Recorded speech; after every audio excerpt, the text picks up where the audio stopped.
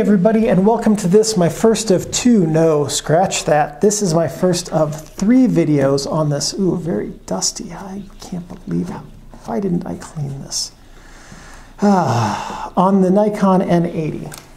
The Nikon N80 is an interchangeable lens SLR and that simply means that you can take the lens off and put it back on or put a different one on at any time when you're not taking a picture and not ruin your images. It has matrix, center weighted, and spot metering modes. Matrix is basically if you were to take this whole scene, an old averaging meter would look at this whole scene and try to figure out a, a setting to make it all gray. Matrix looks at the whole scene but balances different parts of the scene differently to basically be like a thinking averaging meter. I think that's the best way I can think of to put it is it's like an averaging meter that does a somewhat better job. It has shutter speeds of 30 seconds up to 1 4 thousandth of a second, which is a pretty zippy maximum or minimum shutter speed. And bulb. The viewfinder magnification right here is 0.75-ish x. I couldn't find an exact number for it. Um, that's approximately what other people reported, and that sure as heck is about what it looks like looking through here. The frame coverage on it is 92%. Now, what that means is if what you were looking at right now is what was going to be on the film when you took a picture, that what you see in your viewfinder would be about 75% the size of what's coming into your camera um, and going to reach the film, so it's basically shrinking the image a bit.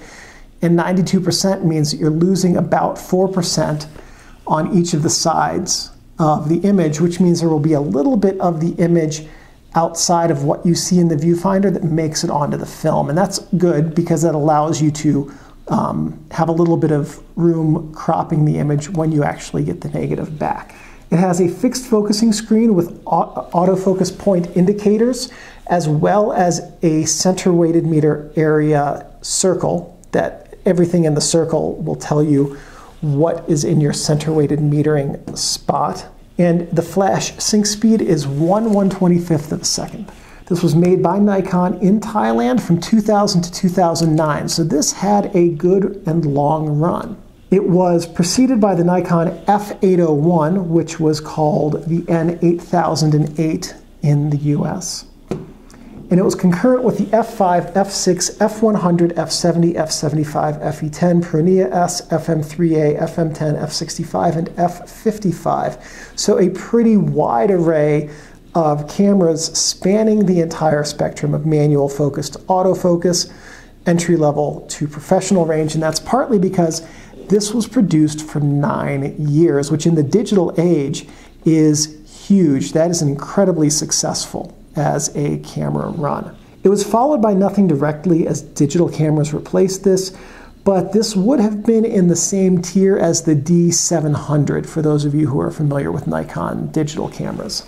So now as we do, let's go over the camera's features and if you have your Nikon N80, hopefully less disgustingly dusty than this one is, we'll go over what everything is. We'll start on what is technically the sides here, which which are the strap lugs, which is what you connect your camera strap to. Here we have the drive mode switch lock, this little button right here. So if we try to move this switch, we can't do it, but if we push this button down, we can. And that allows us to switch between single shot, continuous, self timer, and multiple exposure mode. That are the, that's what these four symbols here mean. Here we have the mode dial, program, shutter priority, aperture priority, and manual. And we'll talk about what each of those modes are in the second video, I believe. Let me double check my script. The script is eight pages long. Um, so it is a little bit more extensive than my typical script. Now, you know what? It's not in there. Um, so let's talk about what the different shooting modes are right now so that I don't forget to do it.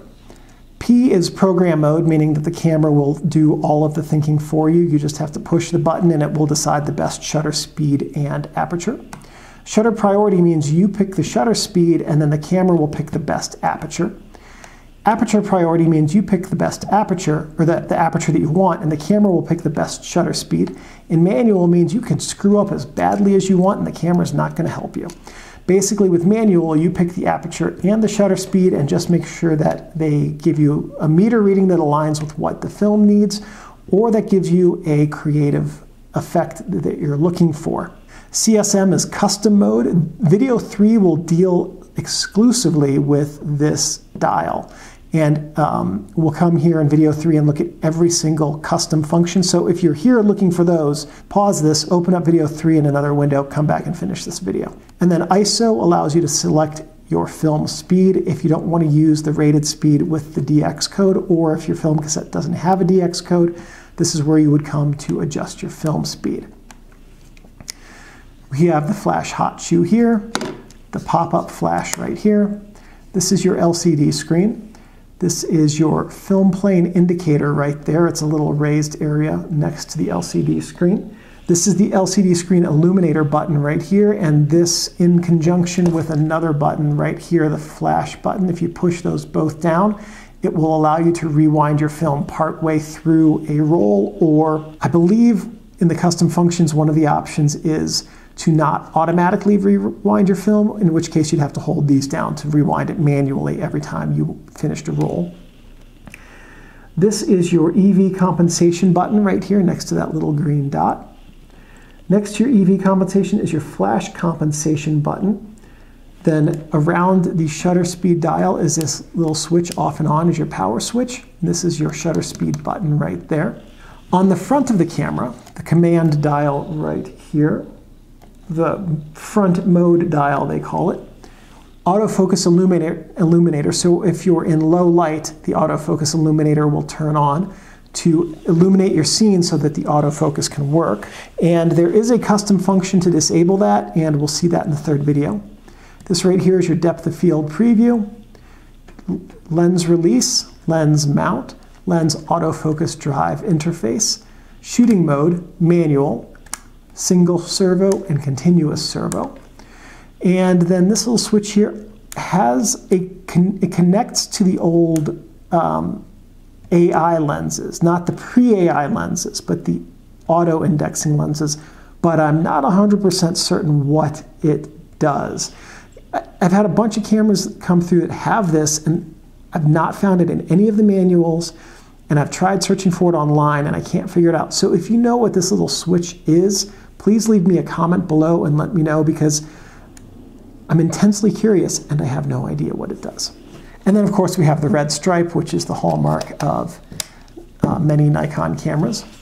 On the side, while we're here, we have the film back release switch. Come on, there we go, which you use just to open up the film back. On the back itself, we have the film type window right there, which will allow you to look through it to see what kind of film you have. This is the image bracketing button right here next to the green, green dot. Then here we have the, the flash mode selector button right here. On the back of the camera, we have the film type window right here that lets you see what kind of film you're using. The film bracketing button that we'll see how to use in the second video. Flash mode button we'll see in the second video. Viewfinder window. Diopter adjuster right here, which you can slide up and down to adjust your diopter if you have a low prescription or like me, uh, and you have to wear glasses. Find the neutral position and then just leave it there. This dial right here is the metering mode selection dial. Uh, there's a little white line on it that lines up whether you are in center weighted, matrix, or spot metering mode. So center weighted, matrix, and spot. In this dial is the auto focus lock, auto exposure lock button right here, rear command dial right there.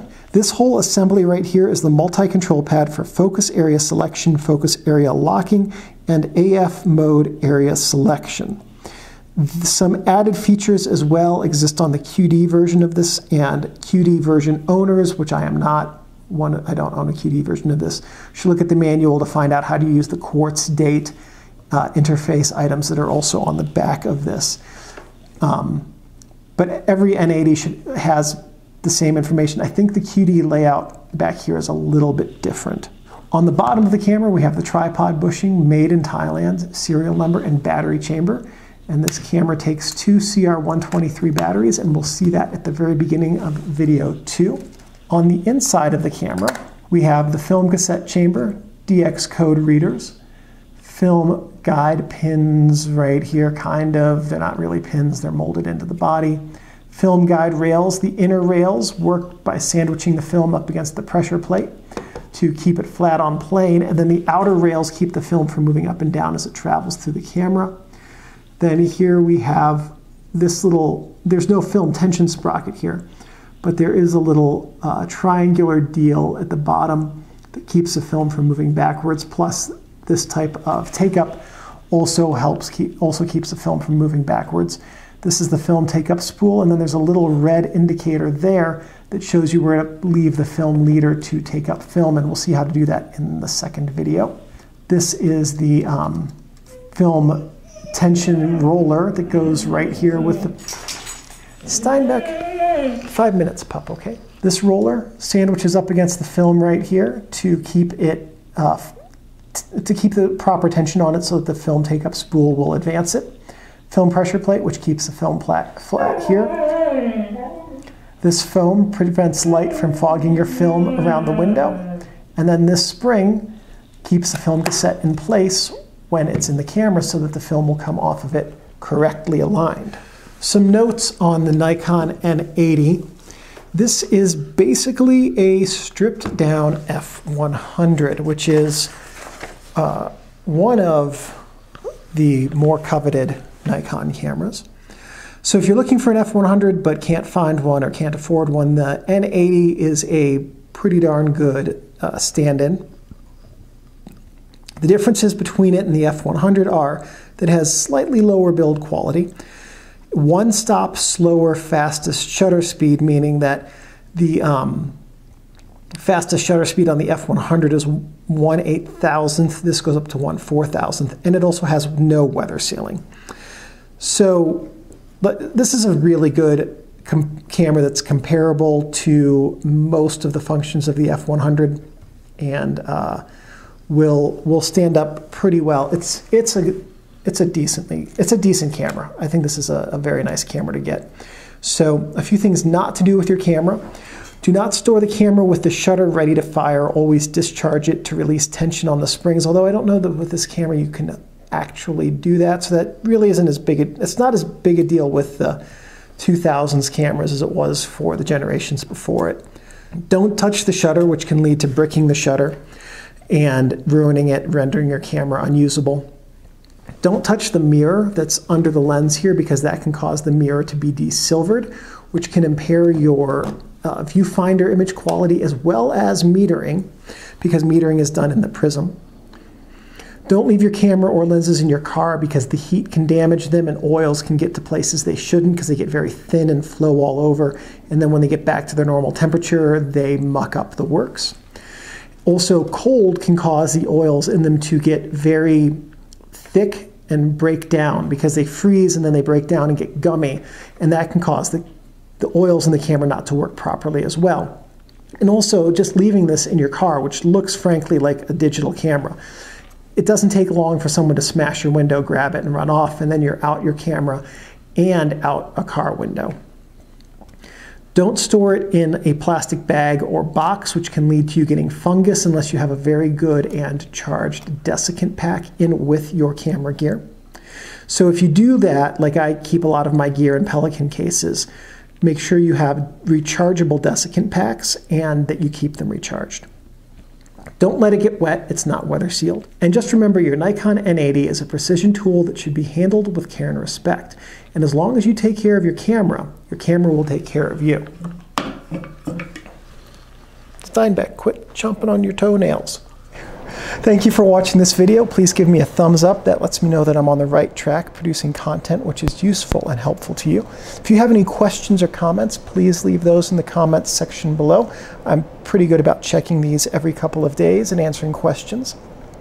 If you have any suggestions or ideas for future videos, and if I have the technical know-how and equipment, I'm more than happy to make those. One last thing. Thank you everyone for watching, and I'll see you in the next video. I got to get up, Steinbeck. I have to turn off the camera.